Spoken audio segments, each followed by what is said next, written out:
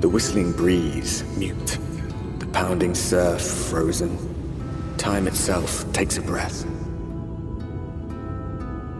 At light's edge, all is perfectly still. The world captured in a painting, locked in a moment. Music, faint and fleeting, drifts coastward on the lifeless air. And in the distance, beyond the broken earth, a city beckons.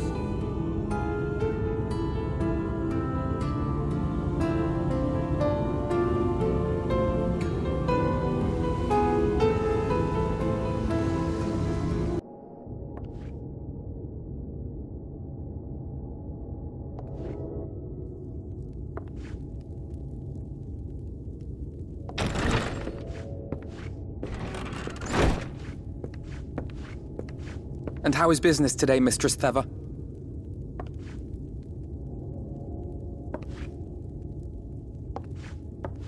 Oh, frenetic.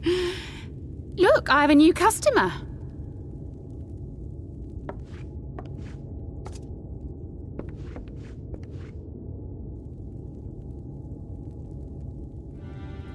Tis good to see you, my friend.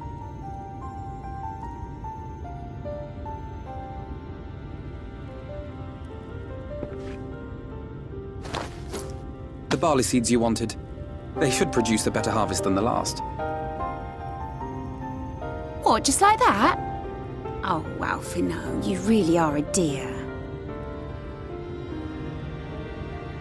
Well, I'd best be tidying up some of those empty shacks before the pests move in. Keep an eye on the place while I'm out, eh?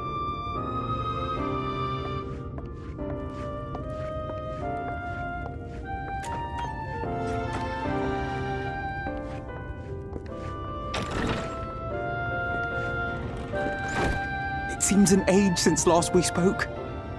Not since the prisoner exchange in Doma. And Yotsu. It has been even longer for me, of course, if you count the days I've spent here. But the time has only added to the relief I feel seeing you safe and well.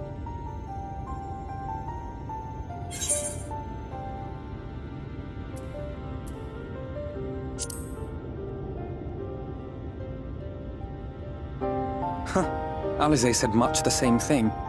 I don't think I've ever had such a scolding. But I believe an exchange of news is in order. Come, tell me of your arrival and all that came before.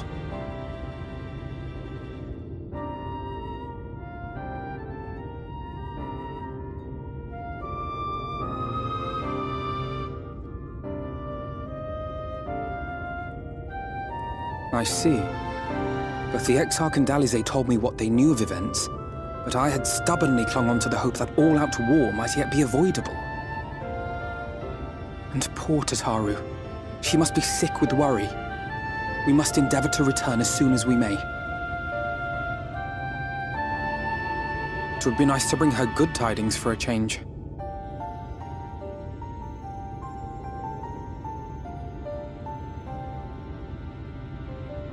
But before we bid this world farewell, we must first ensure that it is not rejoined to the source. We must prevent the Eighth Umbral Calamity. Urianger's vision of the future has, I fear, every chance of coming true. By his description, the catalyst for the calamity was a formless and deadly weapon employed by the Garlean Empire.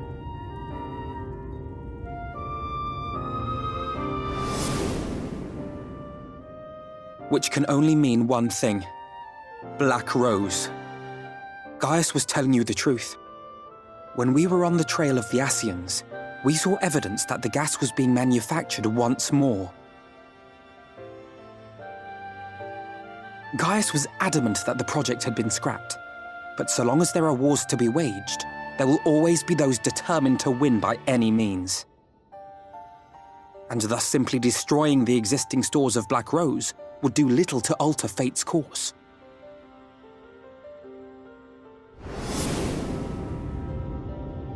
In that sense, our involuntary journey here to the First was something of a boon. Together with the Exarch, we've developed a theory as to how we believe the rejoining will be set in motion. I'm sure Urianger himself will cover the subject in more detail. But I can tell you the process requires that both worlds, the Source and the First, be facing an existential threat. One being Sin Eaters, of course. They are a menace that I would dearly love to remove, and not just to avert a calamity. I may be a stranger to this world, but I will not stand idly by and let innocent people be slaughtered.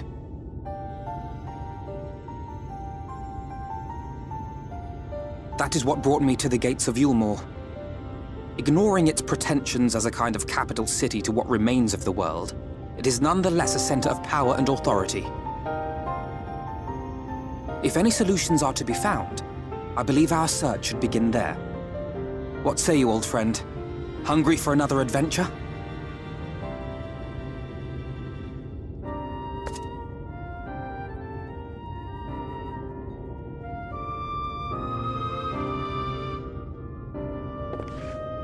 And so we take to the road once more.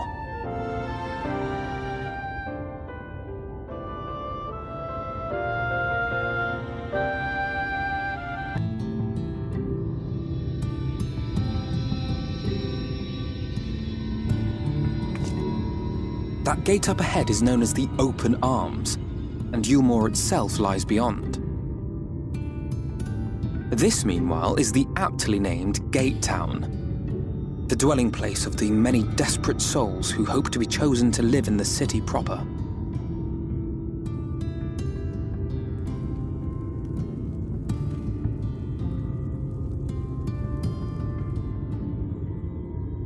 Ah, I thought I recognized you.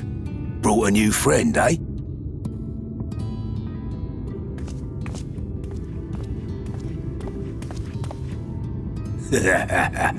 I'll bet you got a trick or two up your sleeve. Maybe even three.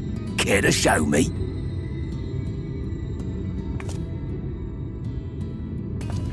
She's not here to compete. Leave her be. What? I was only making conversation.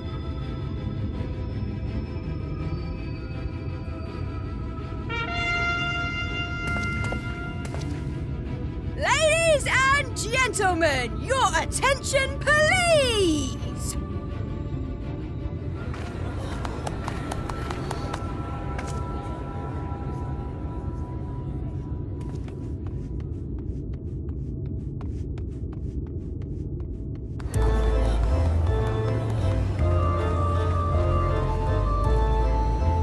Greetings to our hopeful petitioners, one and all! Yulmore extends its warmest regards.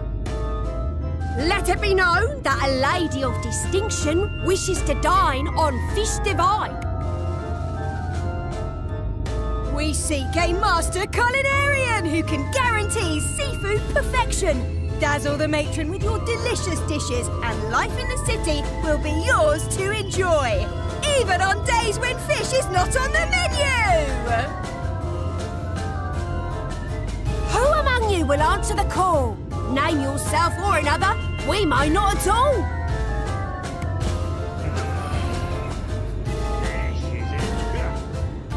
Was there anyone? What about that girl? Do you recall how I said Yulmore was a center of power and authority? Well, that is not the only reason for its fame. It is also known as the City of Final Pleasures. The noble and the wealthy who survived the flood gathered here to live out the rest of their days in decadent abandon. A poor man could sooner pass through the Iron Needle than Yulmore's gates. The only way the common folk can enter this perverted paradise is if they fulfill the whim of one of the privileged. And so they are picked over like market produce.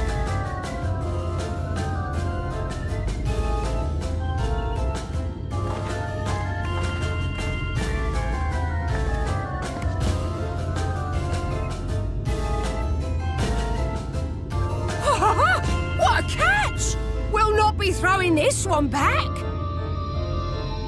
Having seen your all too obvious charms, we welcome you with open arms.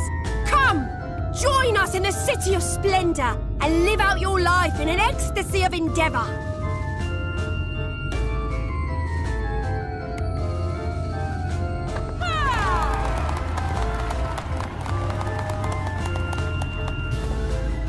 Oh, just look at those expectant faces. What could you possibly be waiting for? Well, well, what have we here? An extra share of meal to celebrate our newest resident!